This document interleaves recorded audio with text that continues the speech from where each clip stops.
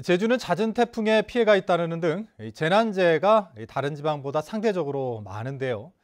각종 재난재해 유형을 직접 체험하고 안전교육을 받을 수 있는 체험관이 문을 열었습니다. 김항섭 기자입니다. 항공기 안이 갑자기 어두워지더니 의자가 심하게 흔들립니다. 승객들은 천장에서 떨어진 비상용 산소 마스크를 서둘러 착용합니다. 비행기가 바다에 내리자 승객들은 구명동해를 착용하고 탈출을 준비합니다. 항공기 사고 대처 요령을 배우는 가상의 체험실입니다. 딱 땡기니까 한 번에 탁 풀려가지고 그건 몰랐었거든요. 아 이게 진짜 그 현장 그 경험 이런 거구나 하는 걸 느꼈습니다. 시속 100km가 넘는 강풍. 슈퍼 태풍급 강한 바람에 제대로 서 있기조차 힘듭니다. 온 집안이 심하게 흔들리는 규모 7의 강진은 실제가 아닌 실험이지만 두려움이 느껴질 정도입니다.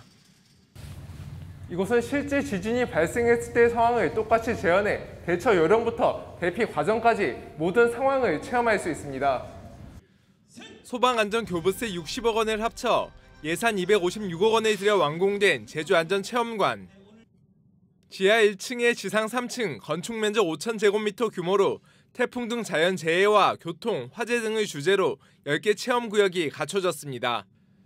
각 주제별로 체험 프로그램 21개가 진행되고 어린이 안전 교육을 위한 복합 공간도 마련됐습니다.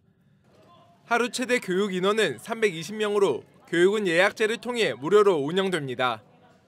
일상생활에서 각종 이제 일어날 수 있는 사고에 대응하고 또 재난 재해 이런 위기 상황에서 어, 행동 요령 이런 것을 느낄 수가 있습니다.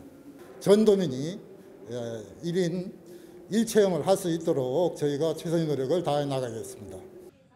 제주에서는 처음 문을 연 안전체험관. 각종 재난 재해와 안전사고로부터 도민들의 소중한 생명을 지키는 체험장 역할을 톡톡히 할 것으로 기대됩니다. MBC 뉴스 김항섭입니다.